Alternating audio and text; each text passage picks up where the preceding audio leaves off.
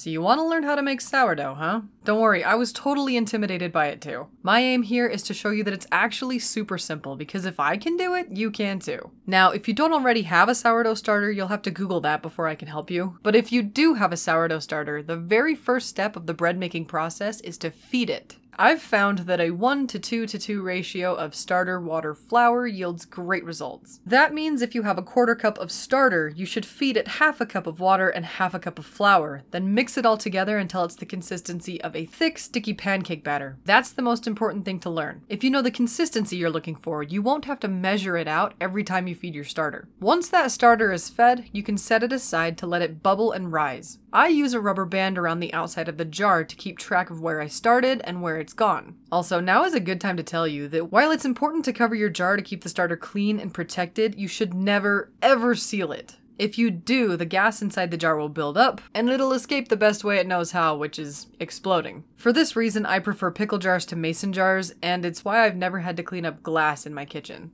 Now, it's been a couple of hours, and we can see with the rubber band that our starter has doubled in size and is ready to use. Besides doubling or tripling in size, it's easy to tell if your starter is ready to use because if you shake it around like this, it'll be super bubbly inside. Alright, let's make some bread. My recipe makes two medium-sized loaves or one pretty big one. I also almost always measure my ingredients by weight, because it's a lot easier to stay precise when you measure in grams. And as we all know, baking is science, so it's important to stick to the numbers. To start, add 100 grams of sourdough starter to the bowl, then zero out the scale. Add about 300 grams of water to it. I say around because we'll definitely need more than that. At this stage, going over on water is not a big deal. Also, another easy way to tell if your starter is ready to use is if it floats around in the water, like this. Good starter is full of air and floats to the top. Alright, zero your scale again, and this time add 500 grams of all-purpose flour to the bowl. I've used Walmart flour, Costco flour, grocery store flour, it's all pretty much the same. So don't worry what you buy, it all makes bread.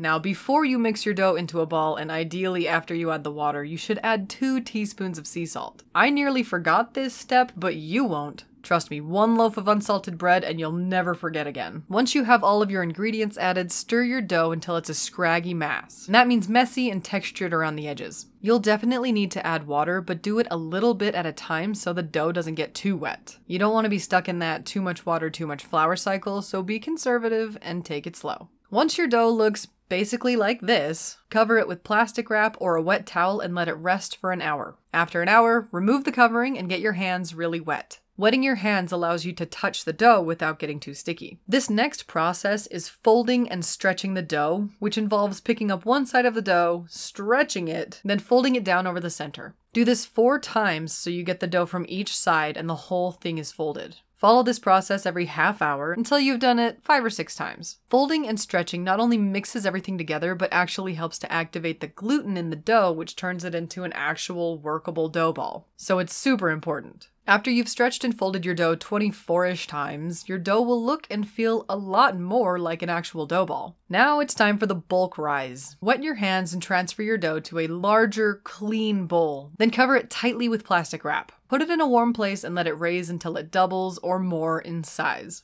This can take anywhere from 6 to 12 hours, it really just depends on how warm the dough is while it raises. After it raises and you have that huge airy mass of dough, use wet hands or a silicone scraper to pull the dough out of the bowl and onto a floured work area. Well flour the top of your loaf, then you'll have the option to shape the entire mass of dough or cut it in half for two good sized loaves. I've opted to cut mine. Once you're ready to start working the dough, flour your hands and then pull the dough into a circular shape. Then you can begin to form your dough ball. This looks different from regular kneading. The idea here is to gently pull the sides of the dough down in a pinching motion between the back heel of your hand and the countertop.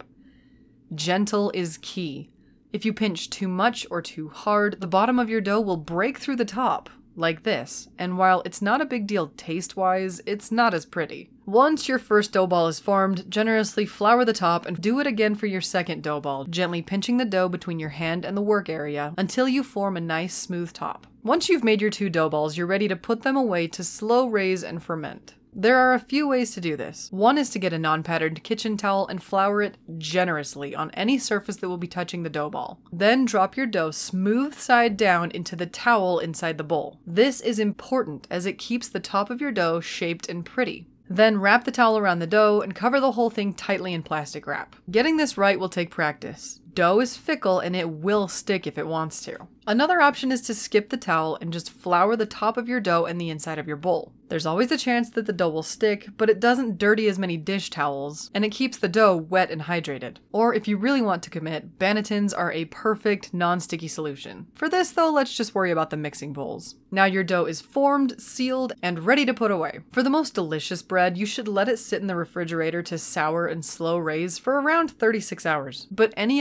amount of time it spends in the fridge will add to the texture and flavor, so overnight is fine too. After a day or so of resting your dough in the fridge, it's time to bake. The first thing to do is preheat your oven to 450 degrees. Then pull your dough out of the fridge. It'll need to warm up for about an hour before it's ready to bake. Next, put your Dutch oven with the lid on into your hot oven. You want both to be scorching hot before you place the sourdough inside for baking. Let that sit inside the hot oven while your dough warms up for about 45 minutes to an hour. Once it's warmed up and ready to bake, grab some parchment paper and free the bottom of your dough from the towel it's wrapped in. Place the parchment paper against the bottom of the exposed dough and flip the bowl upside down. Then slowly and carefully pull the dish towel off your dough ball. Ideally, it'll look like this a nice little smooth round ball. If it doesn't come out smoothly and the dough tears, don't sweat it. It'll taste the same. Just keep practicing until you figure out which style works for you. The last step before baking is to score the dough. This will release pressure and steam while the bread bakes so it doesn't burst open or crack funny. You can use a razor, a lame, or just a sharp knife, and cut any design you want into the dough ball. Just make sure there's at least one big long line so the pressure can easily release. Now pull your hot Dutch oven out of the oven and remove the lid with your hot pads. Be careful, this thing is insanely hot. Now grab the dough by the parchment paper and without touching anything, plop it right in the pot. Then cover with the lid and put it back in the oven. Keeping the lid on it first will help cook the inside of the bread, so set a timer for around 20 minutes. Once your timer goes off, remove the lid and let the bread continue to bake without it for another 20 minutes or so. When it's ready, the bread should be a beautiful golden brown. To remove it from the pot, just grab the sides of the parchment paper and slip it onto a cooling rack. Now listen, I know it's tempting, but don't cut into your bread for at least six hours. It needs that time to complete the cooking process. If you cut into it too early, it'll be gummy and wet and, well, still delicious, but not nearly as good as it would be if you waited. Just trust me. After that six hours, bust it open and it'll look like this. Absolutely wonderful. And that's it. Sourdough is simple, delicious, and all those sourdough cultures are really good for you. I make two loaves a week and it's such a fun hobby. Let me know how your bread turns out, and remember, stay sweet.